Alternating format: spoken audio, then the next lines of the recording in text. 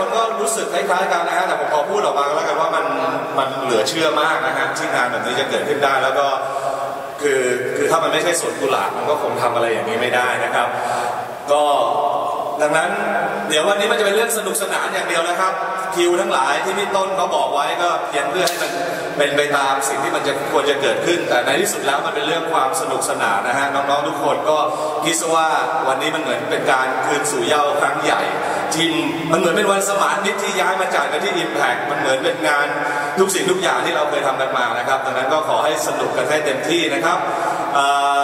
อย่าลืมนะฮะอยู่บนเวทียิ้มแย้มแจ่มใสนะฮะถ้าน้องๆที่ไม่เข้าใจคำว่ายิ้มแย้มแจ่มใสเป็นเช่นไร ให้หันไปดูด้านหลังนะฮะพี่ๆเขาจะทำให้ดูนะครับ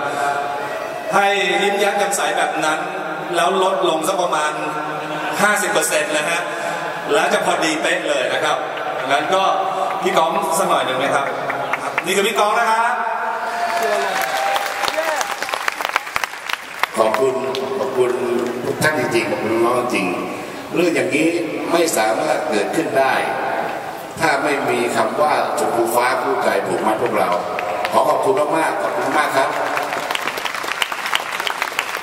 โอเคครับ